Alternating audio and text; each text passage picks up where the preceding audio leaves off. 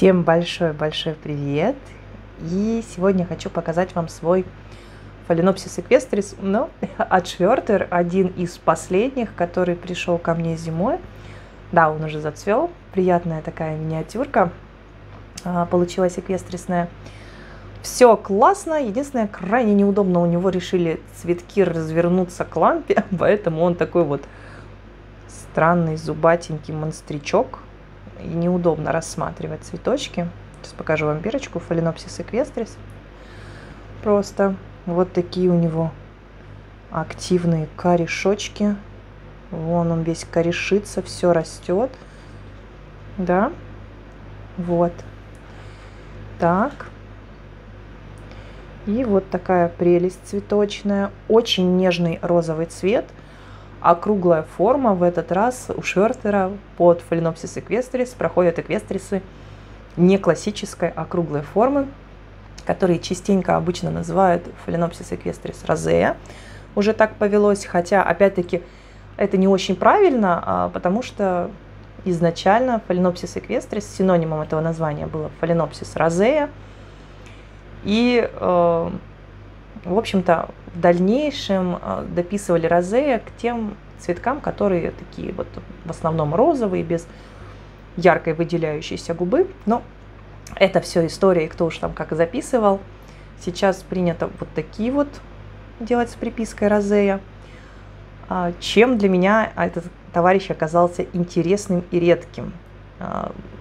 Я люблю, когда у Швертера новые завозы, купить, да, просто эквестрис, потому что я у них перед этим купила три эквестриса, они все три процвели по-разному. Это четвертый просто эквестрис, он тоже цветет не так, как все три предыдущих, поэтому вот да, это такая моя уже маленькая традиция. Появился у них завоз с эквестрисами, я пошла и купила. Так, так вот, чем же ценен? Мне очень интересно, как у него вот эти вот лепесточки а, загибаются внутрь что не, не типично, не особо типично для эквестрисов. Да, немножко они, конечно же, поддаются внутрь, но у этого товарища а, они прям очень сильно загнуты внутрь, при том, что задние лепестки очень отогнуты назад. И это все так очень интересненько для меня смотрится, как для любителя, для ценителя, почитателя и так далее. Еще мне очень-очень нравится ярко-желтый там вот вы увидите ярко-желтый калус. Он настолько яркий, что в некоторых местах смотрится даже оранжевым, прям вот таким вот вырви глаз оранжевым. Ох, не хочу использовать много разных непонятных терминов. В общем-то, окраску цветка вы наблюдаете. Юля рисовала. Юля в маркерах.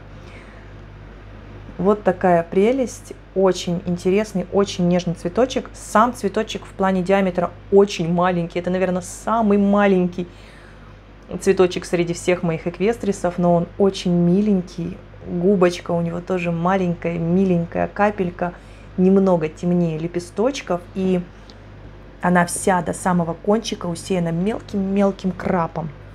Очень интересная девочка, девочка эквестрис. Не знаю, почему-то вот такая ассоциация. Действительно, мне понравилось. Я не разочарована покупкой. И очень компактненький маленький кустик. Вот такой. И это первое цветение, потому что цветоносов сухих и отметин на стволе не было. Так что это вот такая вот прелесть. Очень э, интересные сочные темные листья. И вот такой вот нежный цветочек, так что это вот такое недавнее пополнение в моей коллекции и уже цветущее. В общем-то, моей заслуги нету в этом цветоносе. Я считаю, что вот такие цветоносы – это заслуга тех, от кого пришло. Я буду ждать своего. Но для меня это не менее приятное и волнительное событие. И тоже, кстати, это чудо распустилось к Новому году. Такой вот для меня подарочек от еще одного эквестриса. Я вообще очень рада, потому что очень много эквестрисов у меня распустилось к этому Новому году. Прям сейчас счастливо-счастливо. А, кому интересно, больше фотографий э, эквестрисов вообще, и этого эквестриса вы можете найти в моем инстаграм и на ФБ. Также на ФБ у меня есть своя группа про именно эти фаленопсисы эквестрисы и гибриды с ними. Называется Phalaenopsis Equestris Fans. Все есть с ссылочками в описании к этому видео. Можете заглядывать, переходить, кому интересно. Писать мне там тоже можно. Но и на этом, пожалуй, все. А, о чем забыла сказать? Ну, наверное, о том, что аромата нет. нет аромата, да. Для эквестрисов аромат, который чует наш нос легко, не свойственен, скажем так. Но встречаются случаи. По уходу, давайте не буду повторяться, пару видео назад я уже рассказывала по уходу, когда рассказывала про свой фаленопсис эквестрис аквини струбер. Можете там послушать. И ссылочки, да, сейчас в конце видео, кто досматривает до конца. Вот такой вот бонус. Появляются а, ссылочки на другие мои видео, которые выбираю я или выбирает YouTube автоматически для вас. Бывает по-разному. Поэтому переходите, смотрите, если вы еще не смотрели.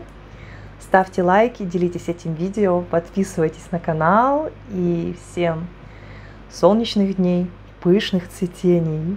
Пока-пока.